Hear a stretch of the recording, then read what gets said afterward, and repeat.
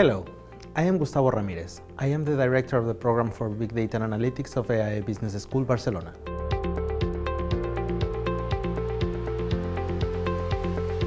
The goal of the program for Big Data and Analytics is to have a full overview about the data and analytics industry from a technical perspective and always having the business in mind. What does it mean? This means that we are going to have a lot of technical classes for all the data industry from the big data to the artificial intelligence to the business intelligence.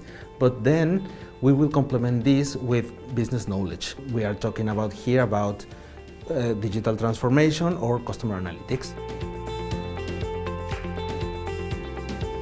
This is a full-time program with a heavy technical hands-on uh, part. This is because at the end we are talking about very different technologies that are going to be teaching the program. But also we complement this with a lot of master classes in order to understand the business and a lot of visits from different industry leaders that are going to teach us how this is happening in the real life. The tricky points of the program are 1. This is a technical program focused on solving business problems.